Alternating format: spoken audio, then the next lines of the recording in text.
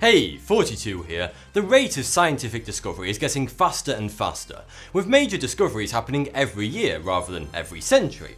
Mars landings, gravitational waves, cancer treatments, vegan chili con carne, we really do seem to be able to achieve the unthinkable. But that's not to say we do it all on our own. Since the dawn of civilization, animals have been more than just our faithful companions and our delicious lunch. They have been a vital part of our understanding of how the world works and often an inspiration for how to make it a better place. So, go give Bark and Scorsese an extra cookie, let Meowly Cyrus up on the bed, and together we can learn about animals who have helped advance science.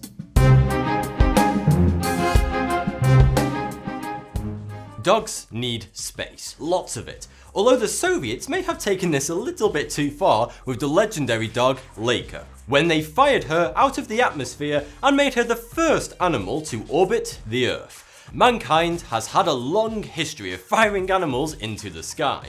Since 1738 when the Montgolfier brothers sent a sheep, a duck and a rooster up in a hot air balloon. The sheep was named Montauciel, which means climb to the sky. They believed the sheep to have roughly similar physiology to a human, and the duck and the rooster were control animals. This is science after all. But also because they thought it was funny to see how a sheep, a duck and a rooster get on in a hot air balloon together. This set the standard, and by the 1940s the skies were filled with balloons and rockets being tested by frogs, fruit flies, fish and monkeys among many others. It was like a Disney movie directed by Michael Bay. Laika was sent into orbit on November 3rd, 1957, to test how both the g-force of the launch and microgravity would affect a living organism. Poor Laika just believed that someone had thrown a stick really really far. The brave beast died within hours from overheating, but there was never any intention to bring her home, which many of the scientists say they regretted later on. If you were ever embarrassingly mugged by a sheep and had to pick one out of a police lineup, you'd probably struggle to tell the difference. This may be why the Roslin Institute in the University of Edinburgh decided to use sheep as clone subjects. If it didn't work, they could have just grabbed any other sheep and said, look, see, they're, they're just like twins.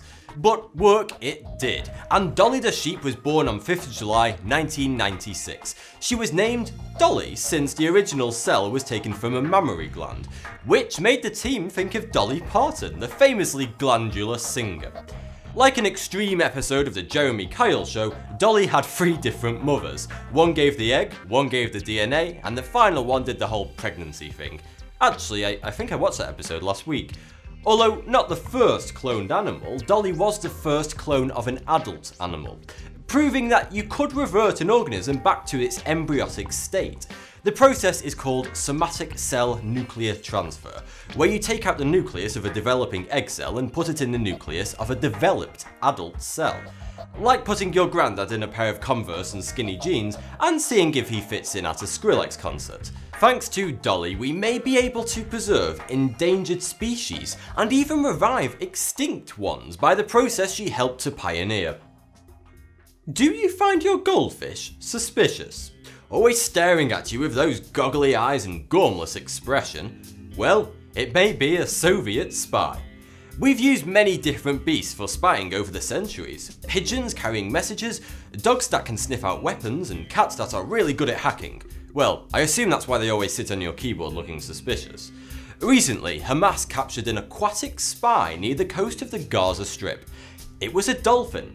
Both Israeli and Palestinian media said that 00 Dolphin was equipped with recording devices and even an arrow firing weapon. It's thought that he was there to take video of the Frogmen training facility, presumably so that they could plan an attack using a ninja octopus and a really angry seahorse. Dolphin secret agents are not a new thing though. We've been using them since the 1960s for a variety of purposes. Purposes. Both the US and the Soviets had dolphin teams to spot underwater mines, and they still do since their echolocation is still far superior to any tech we've been able to create so far.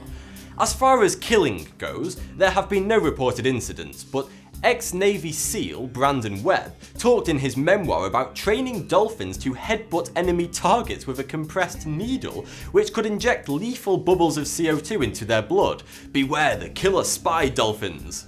The Israelis have been accused of having a whole zoo of animal agents, from masterminding the shark attack in Sharm el Sheikh to a surveillance vulture captured in Saudi Arabia. I'm looking forward to Baconborn, the swine sleeper agent. Speaking of porky animals, Ham the chimp was another great in the story of space exploration. Ham was born in what was then the French Cameroons, but was shipped to the US at a young age to join the School for Space Chimps at the Holloman Air Force Base in Alamogordo, New Mexico. This was all part of Project Mercury, the NASA mission to put a human into space. On the last day of January 1961, Ham was strapped into a nappy and then into a rocket where he spent 16 minutes being successfully launched up to zero gravity and then coming back down into his capsule. He helped NASA gain valuable data about the life support systems they would use soon after for Alan Shepard, the first American and second human to enter space. But how did Ham feel about all of this? Famous primate expert Jane Goodall was highly critical of the mission, and on reviewing the footage, said that she had never seen a chimp look more terrified. Sergio Canavero is a maverick surgeon who has been working his way up the animal chain with the dubious aim of performing a full human head transplant. Dr. Vladimir Demikhov led a lot of advancement in the field of transplanting, performing a lot of different operations in the 40s and 50s, and pioneering the use of immunosuppressants so that the body would accept new body parts. And in 1959, he even transplanted a dog's head onto a new body, Neurosurgeon Robert J. White performed a successful monkey head transplant in 1970 with the animal surviving long enough to see, smell and hear the world around it. It then decided it didn't think much of the world around it and proceeded to bite people. So it's undoubtedly possible for humans, but the ethical questions it raises are pretty big. How do you define a person? Am I only me above the nipples? Above the neck? And what if the body I'm transplanted onto has a One Direction tattoo? Death would probably be a better option. Our final scientific assistant is a wee bionic beast who, like his namesake, Oscar Pistorius, bounces around on blades. Oscar lost both his back legs in a nasty accident with a combine harvester down on the Channel Island of Jersey.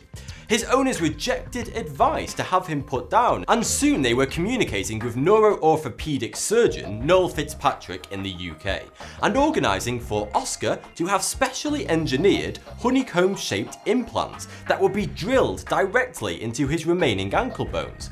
This technique was designed to mimic how deer antlers grow, and allows skin to grow over the point where the implant joins the body, and so to prevent infection. The whole process would probably cost around 50,000, but most of that was covered by the pioneering doctors rather than the owners, and the knowledge they gained has now been used to help humans, such as a woman injured in the July 2005 London bombings. So, rather than just putting your hamster on a wheel or getting your puppy to play fetch, maybe try something a little more challenging for a change, as your pet may have the key to a cure for cancer, or they could just teach you a really useful shortcut on Microsoft Excel. Thanks for the view, subscribe for more, Thoughty2. You'll probably pass by and think nothing more about it, but this is the smallest town in all of America, with a grand population of just one. There are hidden oil wells all over Los Angeles. These secret oil wells are hidden right in plain sight, some are next to schools and shopping malls,